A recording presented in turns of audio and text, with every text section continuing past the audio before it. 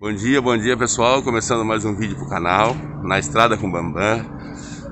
O carregamento era para ser na noite, tá? Aí foi foi adiado para agora de manhã cedo. Essa lona é uma lona de forro bem fininha, tá bom?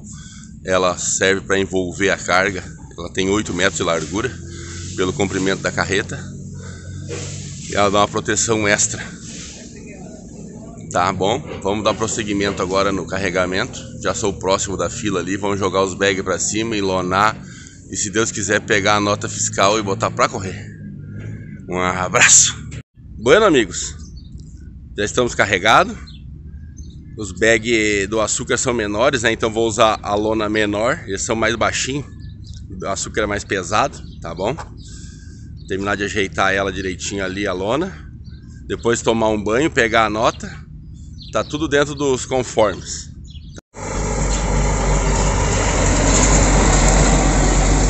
Esse aí não é muito grande não. Aquele ali vem com pouca carga, mas esse outro aí vem carregadão.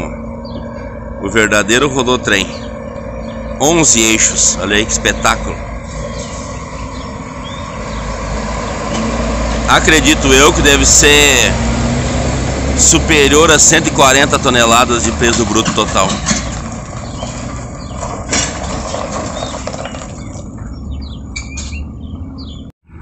Olha só pessoal o que, que eu descobri aqui. São mudas de cana, cara. Que legal, né? Eu no meu tempo nós plantava, morava na roça, já morei na roça, né? Nós cortava um pedaço da cana, né, limpava ela e plantava certinho no carreiro ali, depois tapava e agora aí, ó, olha como é que funciona essas usinas, a modernidade, a tecnologia. É vivendo e aprendendo. Mais uma coisa que eu posso dizer que viajar nos ensina, né? É uma lição. Passa uns perrengues, mas no fim da história dá tudo certo. Como eu ia falando sobre as mudinhas de cana, aqui está a terra preparada para receber aquelas mudas. Lá no fundo o canavial que há pouco foi cortado, está crescendo. Aqui tem mais, ó.